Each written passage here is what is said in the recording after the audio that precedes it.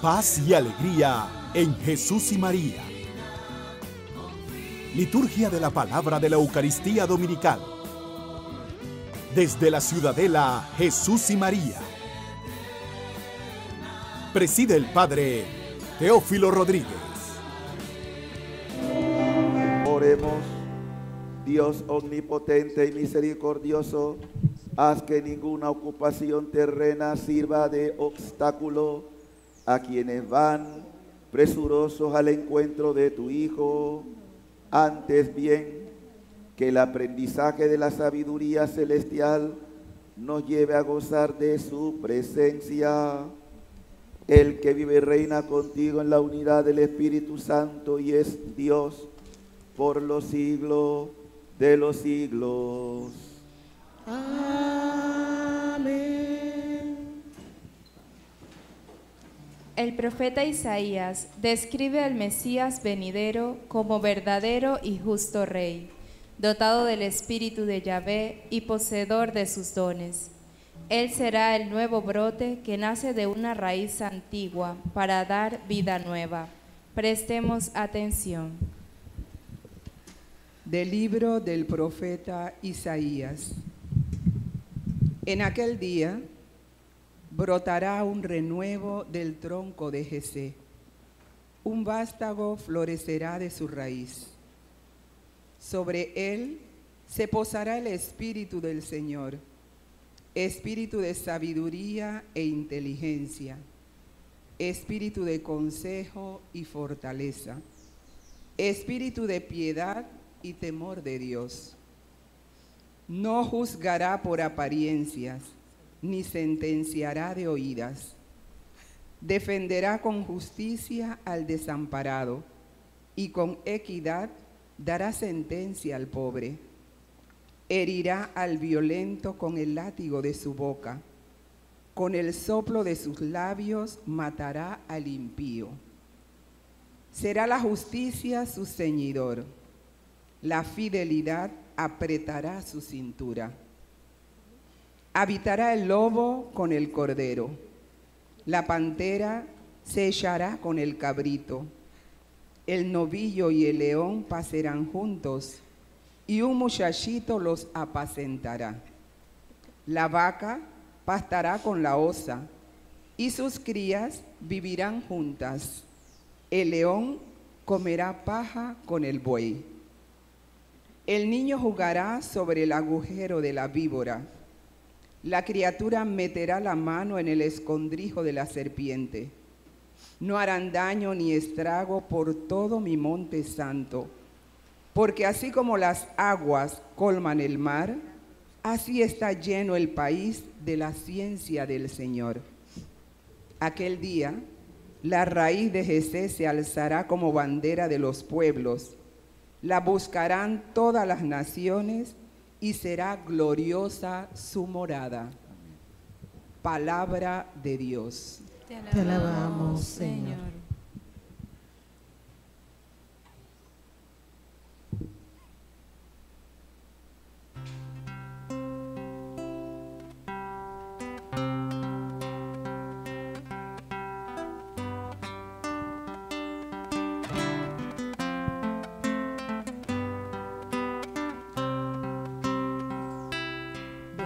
Señor, Rey de justicia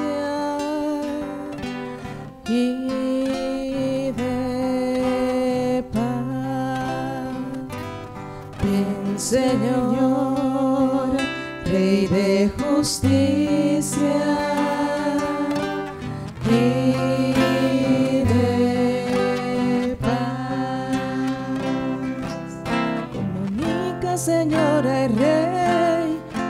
juicio y tu justicia al que es hijo de rey. Así tus siervos saldrán en defensa de tus pobres y regirán a tu pueblo justamente. Ven, Señor, Rey de justicia y de paz. Florecerá en sus días la justicia y reinará la paz era tras era. De mar a mar se extenderá su reinado y de un extremo al otro de la tierra. Ven Señor, Rey de justicia.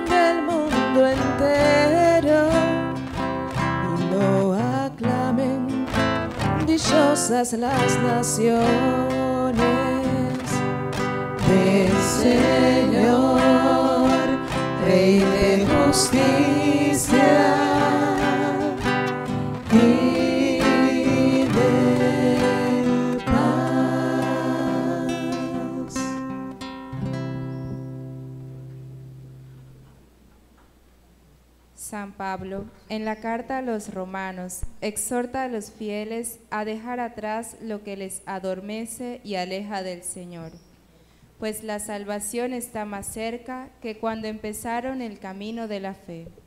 Vamos a escuchar con cuidado este pasaje. de la carta del apóstol San Pablo a los romanos. Hermanos, todo lo que en el pasado se ha escrito en los libros santos se escribió para instrucción nuestra, a fin de que por la paciencia y el consuelo que dan las escrituras mantengamos la esperanza. Que Dios, fuente de toda paciencia y consuelo, les conceda a ustedes vivir en perfecta armonía unos con otros, conforme al Espíritu de Cristo Jesús, para que con un, solo corazón y una sola voz alaben a Dios, Padre de nuestro Señor Jesucristo. Por lo tanto, acójanse los unos a los otros como Cristo los acogió a ustedes, para gloria de Dios.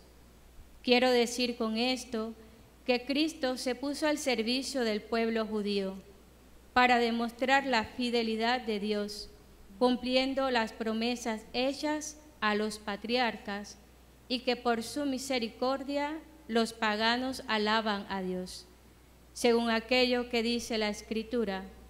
Por eso te alabaré y cantaré himnos a tu nombre. Palabra de Dios. Te alabamos, Señor. El Evangelio según San Mateo presenta a Juan el Bautista, quien predica la conversión, un cambio radical de vida que involucra arrepentirse de los pecados ante la inminente venida del reino de Dios.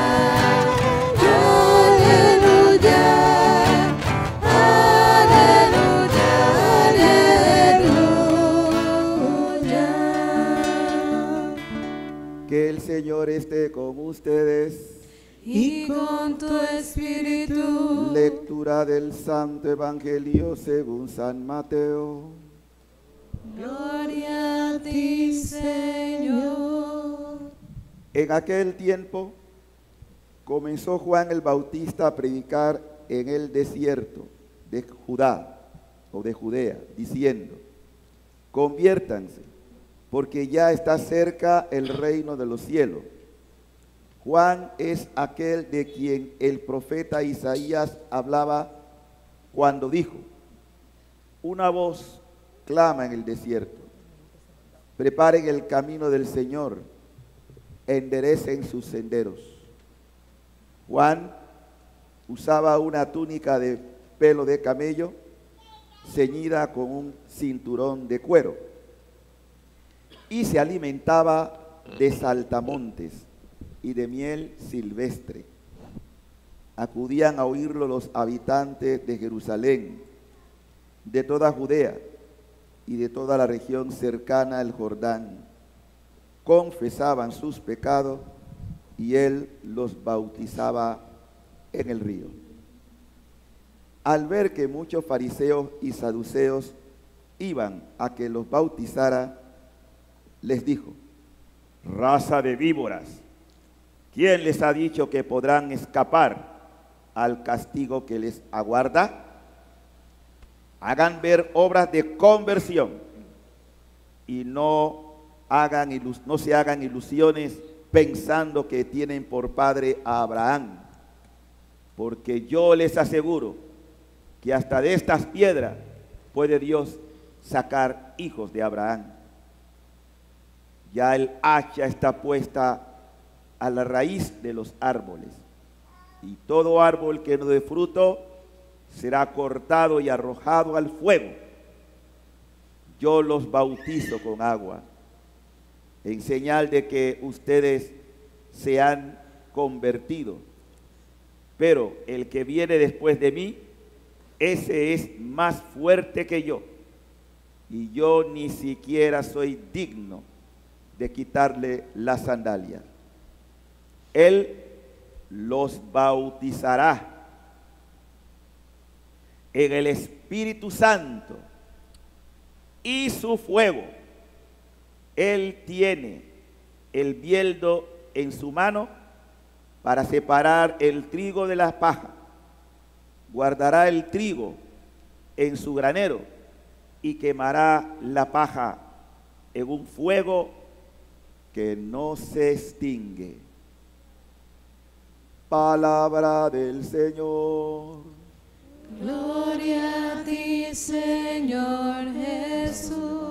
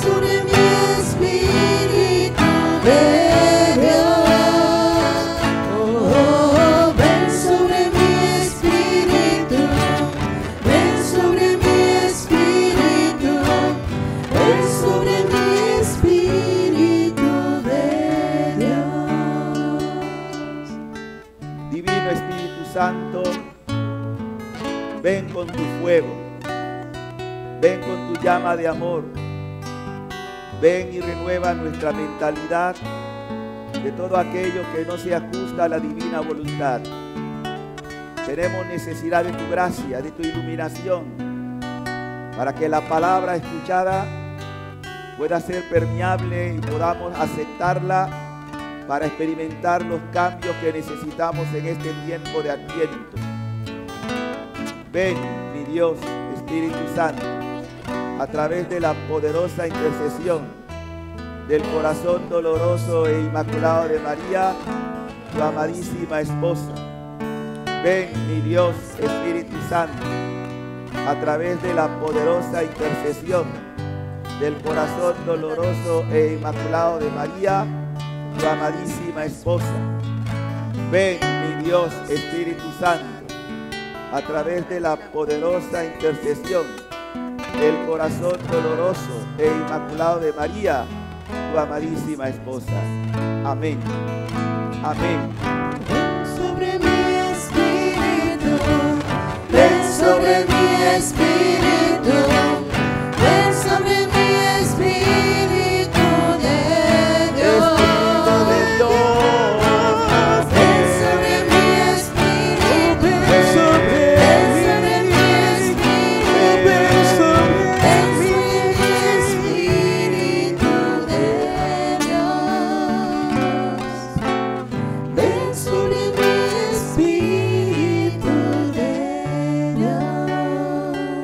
Con la sangre del Cordero, en el nombre del Padre, del Hijo y del Espíritu Santo.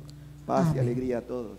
En Jesús y María. Como ustedes han escuchado, Juan anunció que el Espíritu Santo iba a ser el bautismo que Jesús traía para nosotros. Él nos bautizaría en Espíritu Santo y en fuego. Eso vamos a tratar de explicar lo que significa ese bautismo de fuego, bautismo en el Espíritu Santo. Pero antes vamos a iniciar la reflexión con la segunda lectura, porque San Pablo en esta carta que escribe a los romanos nos da razón para entender por qué la escritura, por qué el libro sagrado. El apóstol lo dice en el capítulo 15, hermano, todo lo que en el pasado ha sido escrito en los libros santos, es decir, la Torá, el libro de la ley, que era hasta ese momento el Antiguo Testamento. No olvidemos que la primitiva iglesia, cuando Cristo viene, se leía la Torá, es decir, el Antiguo Testamento. Todavía no se había escrito el Nuevo Testamento se va a escribir cuando Cristo muere, resucita y se va al cielo y envía el Espíritu Santo. Esto es importante. Ahí es cuando viene el Nuevo Testamento. Entonces todos los apóstoles releían una y otra vez el Antiguo Testamento. Y Pablo también, San Pablo. Por eso Pablo, ya Cristo, teniendo la experiencia de Cristo y escribiendo esta carta a los romanos, explica muy claramente todo lo que en el pasado ha sido escrito en los libros santos, se escribió para qué? ¿Para qué se escribió? A ver si lo captaron ustedes. Lo escucharon, pero quizás no lo captaron. ¿Para qué se escribió? ¿Para qué? Instrucción nuestra. Instrucción. No tengo que explicar qué es una instrucción, ¿verdad? Para instrucción nuestra. Para eso se escribió. Y dice, a fin de que por la paciencia y el consuelo que dan las escrituras, mantengamos la esperanza. ¿Para qué? Para que por la paciencia y el consuelo, ese consuelo que viene del Espíritu Santo, consolación, que dan la escritura, mantengamos la esperanza.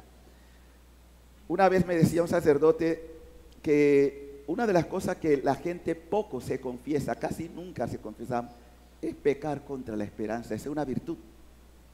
Porque vivimos muchas veces afligidos, desesperados, sin paz.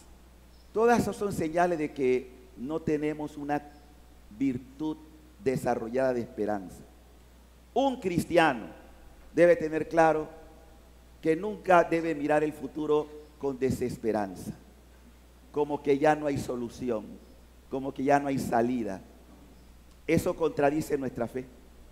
El hombre y la mujer de Dios debemos estar siempre a- anclado, porque un ancla así cuando en la esperanza. Lo que Dios dice, lo que Dios promete, no dejará de cumplirlo. Tú puedes fallar, pero Dios no falla. Dios cumple lo que dice. Y no importa cuántas generaciones transcurran, no dejará de cumplir lo que ha dicho. Y eso vale para nosotros. Este tiempo de gracia que vivimos, que se llama Adviento, si algo quiere reforzar en nosotros la esperanza. Si algo quiere que nosotros tengamos claro, es que ese mismo Jesús que estamos nosotros esperando, no solo de Navidad, ¿ah? cuidadito. La Navidad ya es un hecho consumado en cuanto que el verbo ya se hizo carne. Lo que nosotros como cristianos católicos esperamos, la plena realización de lo que Jesús vino a traer, que vino a traer el reino de Dios. Es decir, que se cumpla el reino de Dios. El panorama que nosotros vivimos en la actualidad no da como mucho entusiasmo para tener esperanza firme, porque vivimos en un mundo de violencia, de odio, de maldad, de infidelidad, de, de todo. Los pecados abundan en medio de este desierto. Y es ahí entonces cuando en ese desierto que Dios le gusta hablar en el desierto, ¿por qué? Porque el desierto en la vida es sinónimo de qué? ¿Ah? De escasez, ¿de qué más? De soledad, ¿de qué más? De hambre, porque no hay nada que comer, de sed. Y el Señor, como buen pedagogo, como buen maestro, cuando el pueblo de Israel estaba en opresión, esos 40 años que duraron ellos también en el desierto, fue toda una pedagogía. Dios no quiso que ellos tuvieran ese tiempo, pero la rebelión del pueblo llevó a que lo que podía ser fruto de 40 días de camino durara 40 años. ¿Por qué? Por nuestras rebeliones. Miren la consecuencia de la desobediencia. Y eso me permite todavía ir más atrás. A ver, cuando Dios creó a Adán y Eva, ¿había desierto? ¿Qué había? Un paraíso, era un vergel. Todo era fruto, todo era bendición, todo era gracia. Tan es así que la escritura también nos relata que el Señor paseaba por el jardín del Edén en la tarde. O sea, la conexión que había entre el creador y las criaturas. Y lo creado, porque todo estaba al servicio de Dios. Hasta que entró el pecado. Y el pecado trajo no solamente desolación, es decir, desierto. Eso es también sinónimo de... La desolación es sinónimo de desierto. Sino que también trajo muerte. Y frente a esa realidad de la desolación, es decir, del desierto y de la muerte, es cuando Dios entonces nos va a dar una propuesta para restaurar esa realidad o esa situación de pecado y de muerte. Y fue así cuando el Señor promete, una gran promesa, que iba a mandar al verbo, es decir, su Hijo, la palabra encarnada. ¿Qué es lo que estamos nosotros celebrando o preparándonos para la Navidad? Ya esa realidad se dio. Y el verbo se hizo y habitó y quiere seguir habitando en nosotros. Porque hay muchos que no permiten que habite. Y por eso el plan de Dios no es que habite solamente en unos cuantos. Él quiere que todos tengamos la oportunidad de ser también presencia del Dios que quiere encarnarse en ti. Porque es para eso nos creó. Cuando Dios te creó a ti, te creó con el propósito de que tú fueras presencia de Él, imagen de Él. Todos estamos llamados a ser imagen de Dios. Aunque el pecado nos lleva a esa realidad de desierto, de vacío, de, in- de infelici- de in- infelicidad, de miedo, de angustia, de todas estas situaciones que nos afectan día y noche, porque todos tenemos situaciones que son conflictivas en nuestra vida, es porque tenemos una experiencia de vacío, es decir, de soledad. Ahí es donde Dios quiere entrar, si tú se lo permites, para que no te sientas en el desierto. Por eso dije, y lo repito, que el desierto en la Biblia es sinónimo también de purgatorio o de purificación o de encuentro. Porque es cuando tú te encuentras contigo mismo y dices, pero ¿qué estoy haciendo con mi vida? Por eso Juan se va a predicar al desierto. Por eso Jesús, antes de empezar su ministerio público, fue al desierto. En otra palabra, el desierto para nosotros es también una experiencia de encuentro con Dios. Bendita soledad, bendito momento de crisis que puedo vivir porque estoy viviendo mi desierto. De hecho, en la experiencia espiritual el desierto es eso, momento de encuentro con Dios, si tú quieres.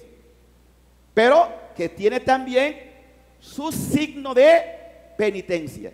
Porque obviamente si te falta agua, si te falta comida, por eso Jesús ayuna 40 días y 40 noches en el desierto para la misión que tenía. Y miren toda la fuerza que tuvo Jesús para vencer. En otra palabra quiero decirlo así. ¿Quieres tener una fuerte experiencia de Dios? Hay que ir al desierto. Donde aparentemente no hay nada. Pero ahí en, en esa soledad Dios quiere hablarte al corazón. Dios quiere hablarte. Como estamos demasiado ocupados o metidos en nuestras realidades humanas, no hay tiempo para la soledad y el encuentro con el Señor. Porque vivimos demasiado, muy en nosotros mismos. Y miren ahora qué dice el Señor, lo que profetiza Isaías, que también una parte se ha cumplido, una parte, pero como el plan de Dios todavía está vigente, hay otra parte que se tiene que cumplir. Vamos a escuchar o a repetir otra vez parte de la predica que Isaías nos da. En aquel día brotará un renuevo del tronco de Jesé, un renuevo brotará un renuevo del tronco de Jesé. Ustedes saben que Jesé, ¿quién era? El papá del rey David. Y como de David vendría la dinastía del Mesías, donde vendría Jesús. Un vástago florecerá de su raíz, sobre él se posará el espíritu del Señor. Un vástago, mm, un descendiente. Ustedes han visto ¿Ustedes alguna vez se han puesto a contemplar de dónde surgen esas bellas orquídeas? Ustedes se han puesto a ver de dónde surgen la mayoría. Por ejemplo, la flor del Espíritu Santo, bueno, tantas otras flores que hay, eh, pero todas las orquídeas, ¿saben de dónde vienen? La mayoría, ¿de dónde surgen? De troncos viejos. ¿Qué belleza surge de allí? Aquí hemos tenido alguna y, y tú ves eso cuando hemos tenido experiencia de y tuve la maravilla, o sea, cómo una flor tan hermosa se puede dar en algo que aparentemente estaba muerto. Porque tú puedes estar muerto, pero Dios no. Y Dios de un muerto puede sacar vida. Porque Él es Dios. Él es el Dios de la vida. Él es el Dios que saca de lo que parece imposible cosas nuevas. Eso saca Dios. Y por eso el profeta habla mirando al futuro esa es profecía, mirando al futuro, dando esperanza de lo que Dios va a hacer. Dice, este obviamente está hablando del Mesías, revestido de la gracia, de todas las virtudes, de todo lo que el Espíritu va a hacer en él.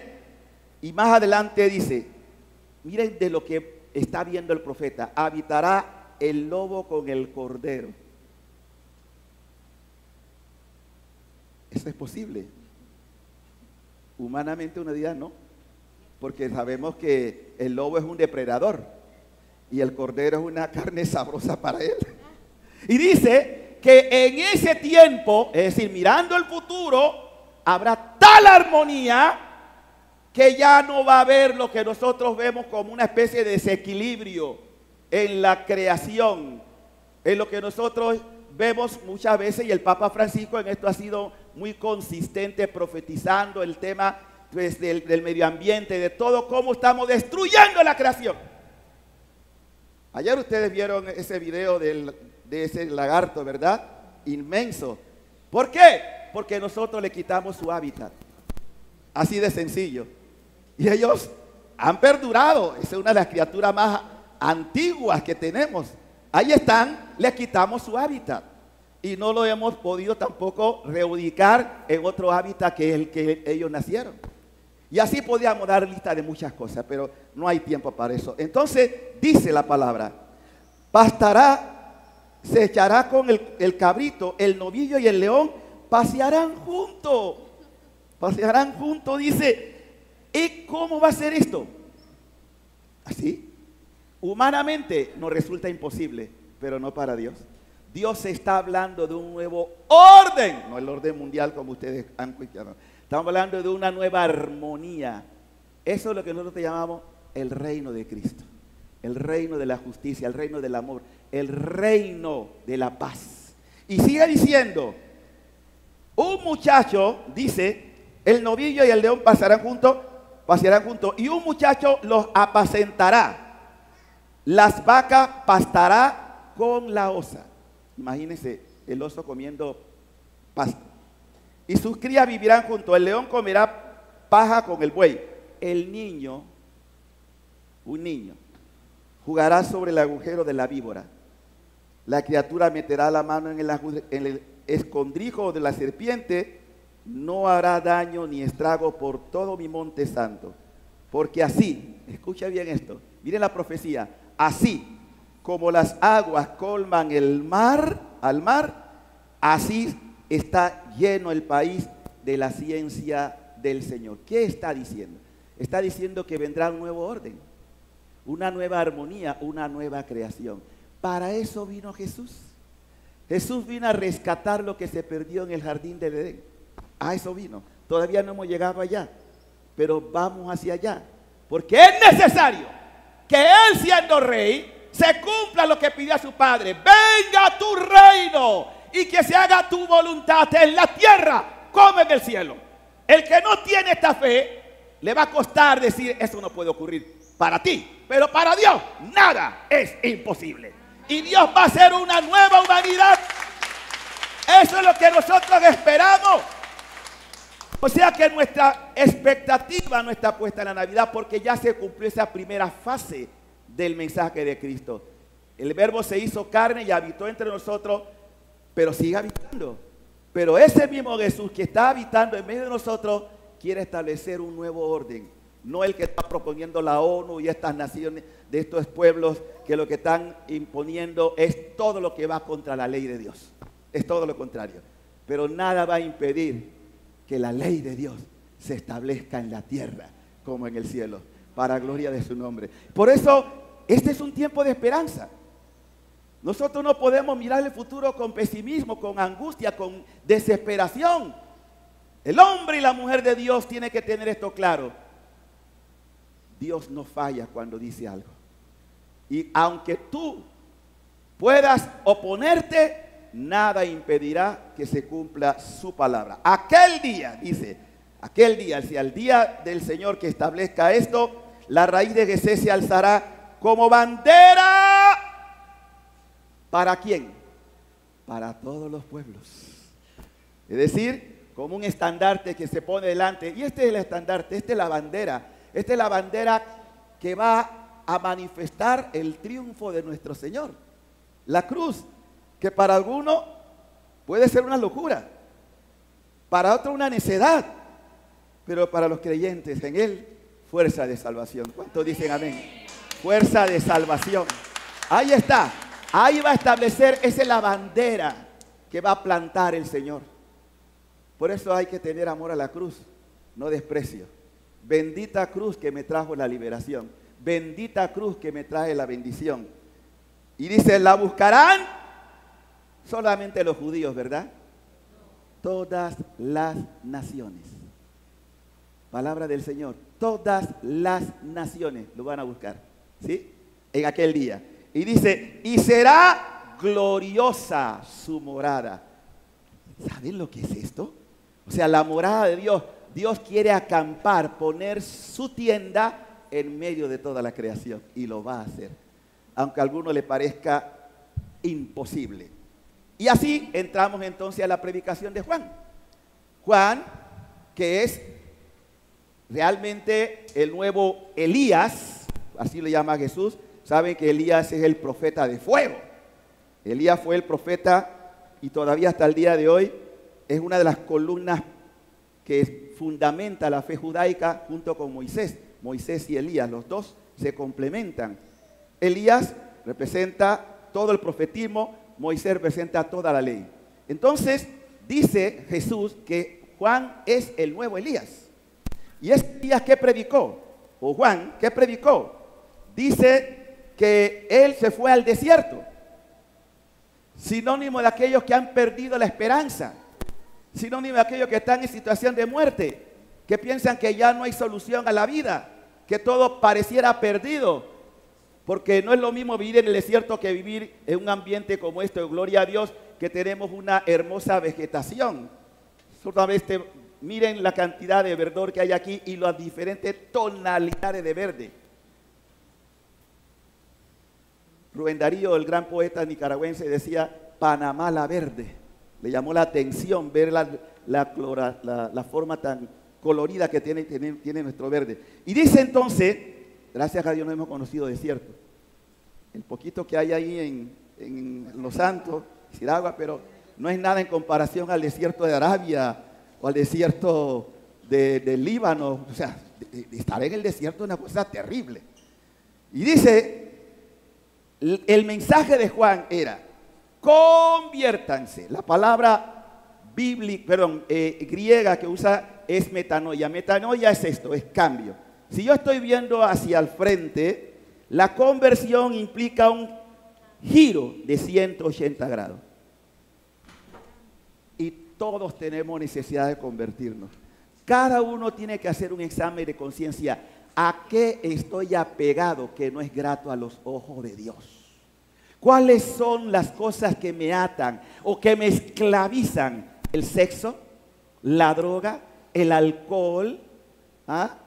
La promiscuidad, el robo, el sentido de destrucción y de muerte. Cada uno tiene algo que el Señor te está diciendo, hey, cambia, hey, cambia. ¿Por qué? Porque si no damos giro, si no damos ese giro hacia Él, no entonces quieras declarar a Dios como injusto. Porque el Señor dice, yo no me complazco en la muerte del pecador, sino que cambie su conducta. Ezequiel 33, 11 lo dice claramente. Cambia tu conducta. Porque tendrás que dar cuenta ante el tribunal de Dios. Todos daremos cuenta. Hermano, no juegue con su salvación. Una sola alma tenemos, una si la perdemos, no la vamos a recuperar. No juegue con su salvación. Y esa decisión es tuya, nadie más.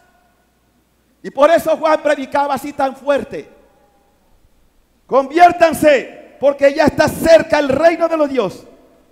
Juan es aquel a quien el profeta Isaías hablaba cuando dijo una voz, clama en el desierto. Y nosotros estamos realmente viviendo una experiencia así como iglesia de predicar en medio de un desierto. Porque la gente no ve las cosas de Dios como prioridad. La gente no toma las cosas de Dios en serio. Hay tantas cosas que nos distraen y nos apartan de Dios. Dios no es prioridad. Prioridad son mis gustos, mis placeres, mis complacencias. Esas son las prioridades de hoy. Y por eso nosotros lo que creemos en la palabra, créanlo o no, tenemos que seguir haciendo lo mismo. Yo no estoy pidiendo que crean en mí, crean en lo que dice la palabra. Porque yo no puedo cambiar lo que está en la palabra. Hay gente que le gusta que le hablen suavecito, que no lo sacudan, porque quieren complacerse en el, el pecado. Y eso no puede ser. No se puede servir a dos señores. O eliges a Dios o eliges el pecado. Todos somos pecadores. Yo no estoy hablando aquí como si no lo fuera. Pero yo tengo una determinación muy seria. Yo no quiero morirme llevando en mi conciencia que tuve la oportunidad de cambiar y no lo hice. Y por eso me esfuerzo cada día por estar grato a los ojos de Dios. Y diga conmigo, debo estar lo más que pueda grato a los ojos de Dios. Repítalo, debo estar lo más que pueda grato a los ojos de Dios. Estoy serio, hermano. Tú no le vas a dar cuenta al Papa, ni al obispo, ni al cura. Le vas a dar cuenta a Dios. Dios nos puso como pastores. Y el pastor tiene que ser celoso por las almas. A mí me preocupa su salvación. A mí me preocupa ver cómo almas, y hablo en general porque lo tengo así muy claro, que me duele que han tenido experiencia de Dios, que incluso pastorearon almas, hoy están atados por el pecado, se apartaron del Señor. Y eso me duele. No puedo decirlo de otra manera. Me duele. Porque me duele su, su salvación. Es decir, que se pueda condenar. Esto no es juego, hermano. No podrán decir, es que no me lo dijeron. Y lo más triste, hay personas que dicen, bueno, si me condeno, me condeno sabroso. No sabe lo que está diciendo. No sabe lo que está diciendo. Si ustedes pudieran ver lo que es un alma condenada. Sigue diciendo la palabra. Conviértanse porque ya está cerca el reino de los cielos. Y dice, Juan usaba una túnica de pelo de camello. Yo me pongo a pensar, los que hemos estado alguna vez cerca de un camello, hemos montado camello. Cuando esos camellos sudan, ustedes se han puesto a ver cómo huele, Dios mío. Una cosa espantosa. Sí, pero bueno, los que ya están acostumbrados a ese ambiente se familiarizan con el olor. Pero los que no estamos acostumbrados a eso, entonces el vestido de Juan era de eso, pelo de camello.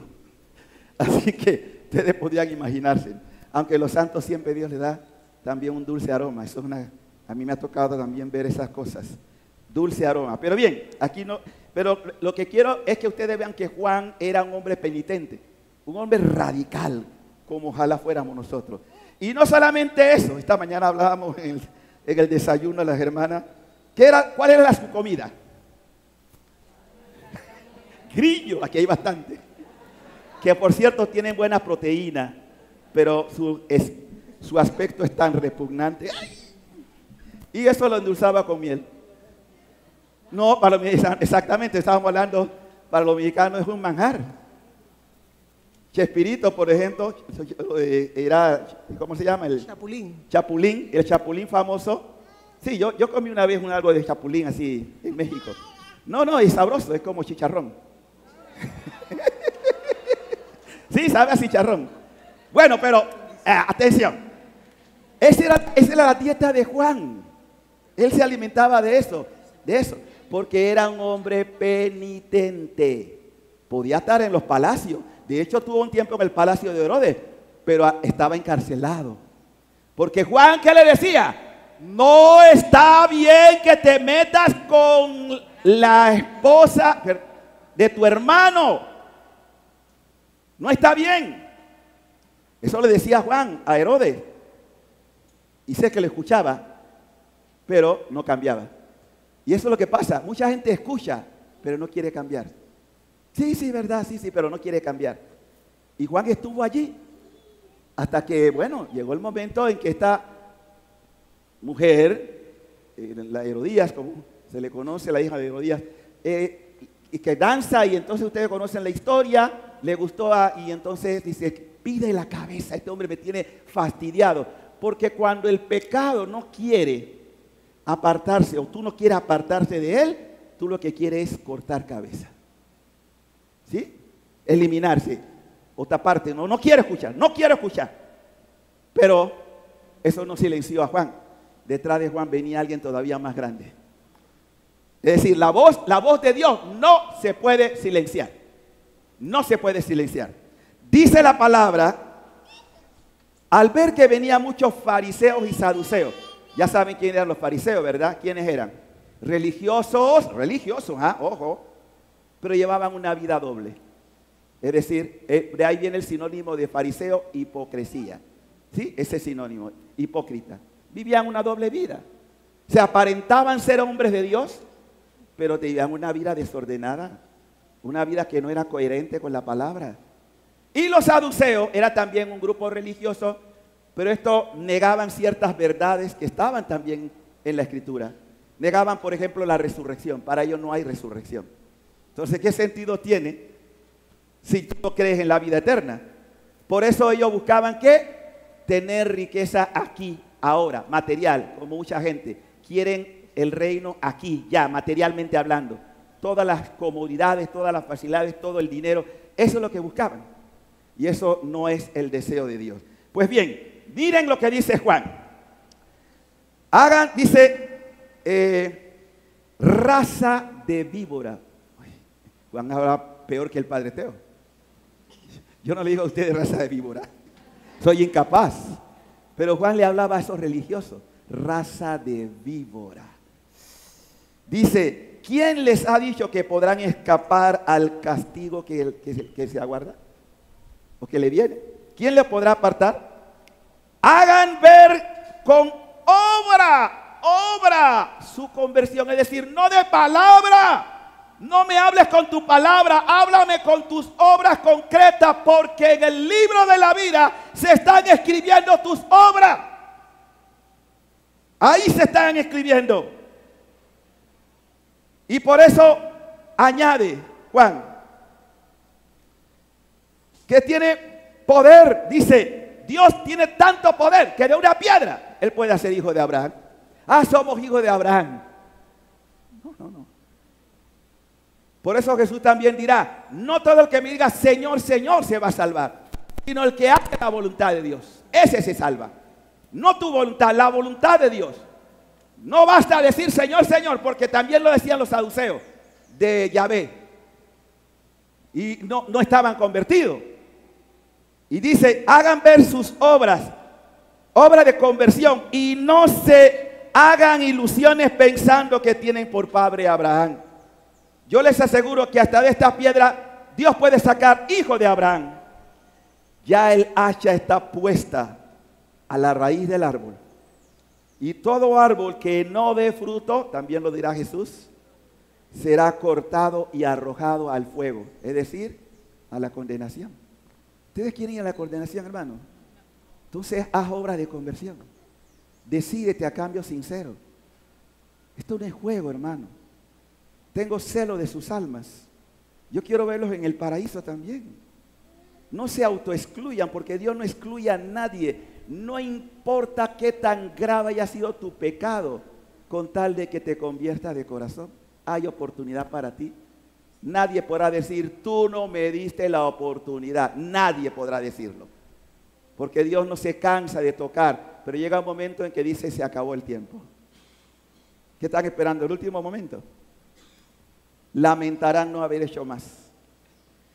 Y termina diciendo, yo lo bautizo con agua, en señal de que ustedes han, se han convertido. Por eso el bautismo de Juan no se compara con el bautismo de Jesús. Son dos cosas muy distintas. Y, aquí también vale explicar esto. Hay gente que habla del bautismo de, de Jesús como el bautismo válido para que yo también pueda acceder, es decir, siendo adulto. Esa es una, lo digo porque hay iglesias que dicen que nuestro bautismo no tiene valor, porque Jesús no se bautizó siendo niño. Es una estupidez. Jesús no, no tenía necesidad de bautismo. Jesús se bautiza para bendecir las aguas, para consagrar las aguas que en el futuro Él iba a usar para bautizarnos a nosotros. ¿Y cuál es el bautismo de Jesús? Por eso también usamos el agua pero no que tenemos que ir a un río, si hay necesidad, pero no es así, como algunos piensan. Y el bautismo claro, el clave es el bautismo del Espíritu. Y me van a preguntar, ¿qué es el bautismo del Espíritu? Aquí viene ahora el resumen de todo, porque esto es la parte medular. Jesús sabía que se iba, que iba a morir, pero que también iba a resucitar. Y él dijo, es necesario que yo me vaya. Porque si no me voy, no vendrá el Espíritu sobre ustedes. Pero si me voy, se lo voy a enviar. Porque la tarea del Espíritu es la transformación del alma, del ser, para que tú te conviertas en un verdadero hijo de Dios.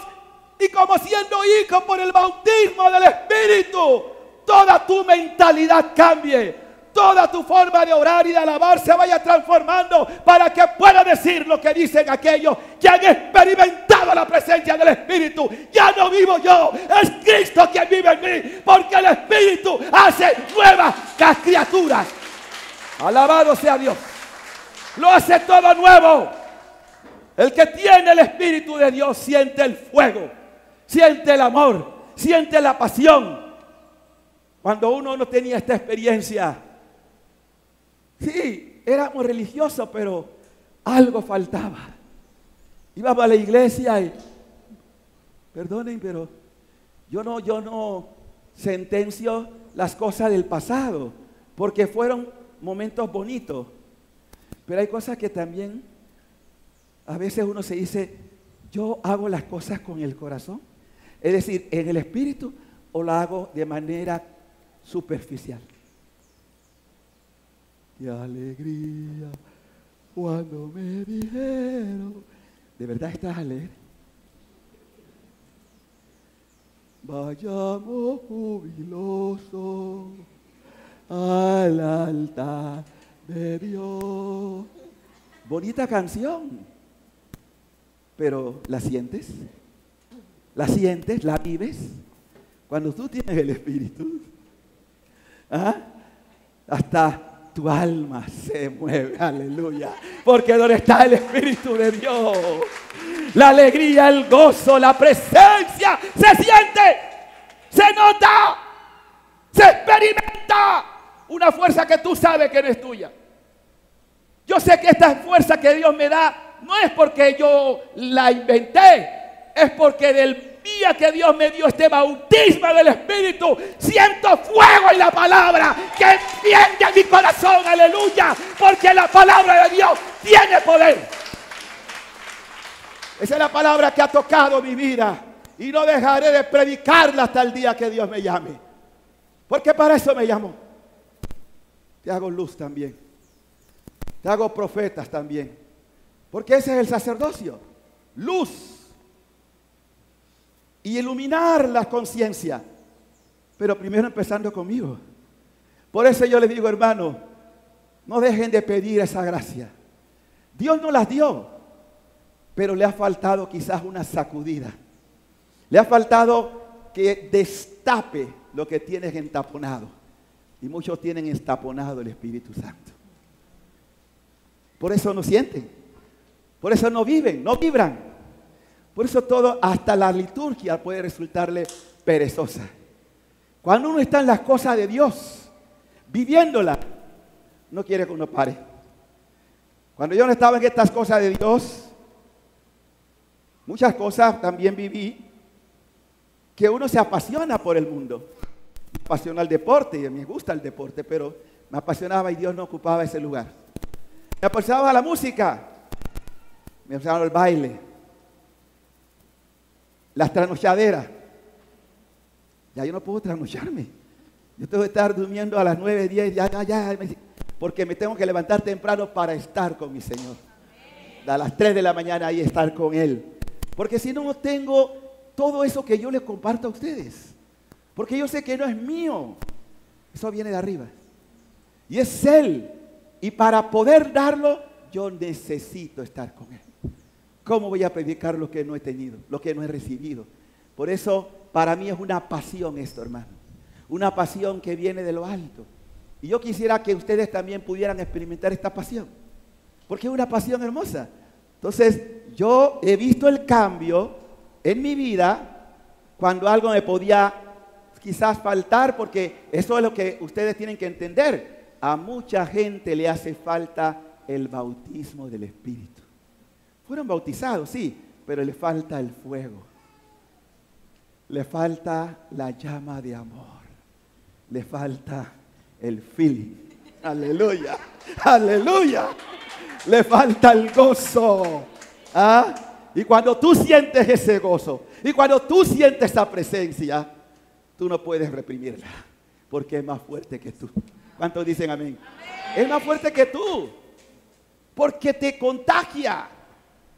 Y no es que todos tienen que ser como soy yo, porque yo soy muy loco en las cosas del Señor, atrevido, podría decir, porque Él me ha hecho sentir ese amor. Él me ha hecho sentir que mi vida no tiene sentido sin Él. ¿Ven? Entonces yo no puedo reprimirlo. Yo tengo que expresar lo que mi alma siente, porque estoy enamorado. Jesús me ha conquistado.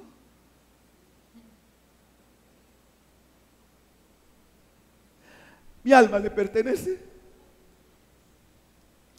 Y solo quiero serle fiel hasta el último momento de mi vida. Él sabe que lo amo. Él sabe que lo amo. Y por eso me da a beber de su espíritu. Y por eso me gozo en su presencia. Y por eso no, no tendré suficiente vida en la eternidad para agradecer todos sus favores. Amado Jesús, mi Rey, mi Señor, te amo. Yo te pido que ese amor que siento por ti lo pueda transmitir a mis hermanos. Que ellos también sientan el avivamiento de tu Espíritu Santo, Dios. Que ellos también puedan quebrantarse delante de tu trono y reconocer su culpa y sus pecados que ellos también puedan clamar, porque tú has dicho, clamen a mí, yo responderé. Y les mostraré cosas grandes y preciosas que ustedes no conocen. Hay tantas cosas que tú quieres revelarnos, Dios. Hay tantas maravillas que tú quieres ofrecernos. Pero el mundo, el demonio y la carne no nos permiten someternos a tu voluntad. No permita, Señor, que mi alma y las almas de los que escuchan tu palabra se pierdan. Que no seamos, Señor, víboras como tú. A través de Juan hablabas, sino que podamos responder a tu invitación de conversión. Señor, Haz que este tiempo de gracia, del atiento, sirva para verdaderas conversiones de los que están en pecado mortal. De los que no se han rendido ante ti. Para que cuando tú los llames, sus almas estén preparadas. Que no se condenen, que no se pierdan. Ven Espíritu de Dios. Ven Espíritu Santo. Ven y revélanos la verdad. Ven, Divino Espíritu. Llénanos, llénanos, llénanos. Bautícenos, oh Jesús, en tu Espíritu.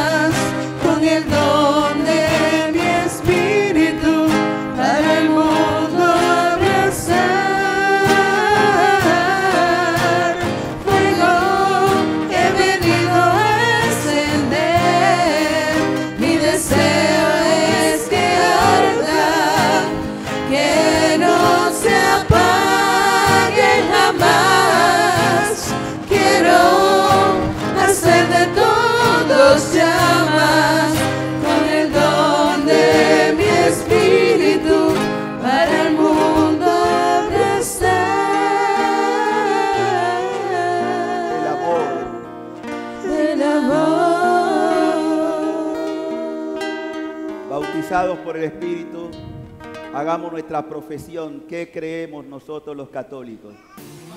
Que todos sigan pasando un feliz día. Bendiciones.